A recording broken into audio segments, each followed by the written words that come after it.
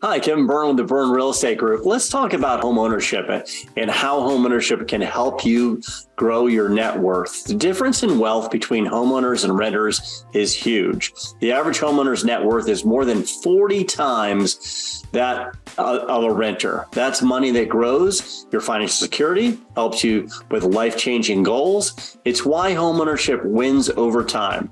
But what connects owning a home and building wealth? Well, the answer is home equity. And here's how it works as you pay down the equity in the house, the home also appreciates and your equity increases. One of the great things about home ownership is that you're leveraging a much higher number than the equity that you have. If you rent, you'll miss out on that. So if you're looking for growing your net worth, creating wealth, home ownership is the answer, quite frankly. And if you are renting right now, we know rents are going up. Uh, we know interest rates are going up as well. At the same time, there are some options out there to lower the interest rates even beyond the, the current levels and get into home ownership and grow some equity, right?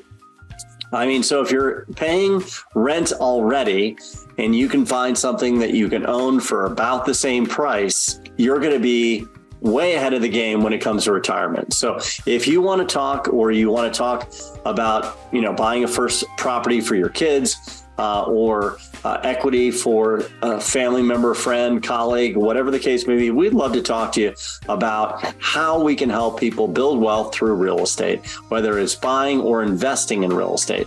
So let's talk. Go ahead and give us a call. We'd love to talk to you more about it. All right. Cheers. Bye bye.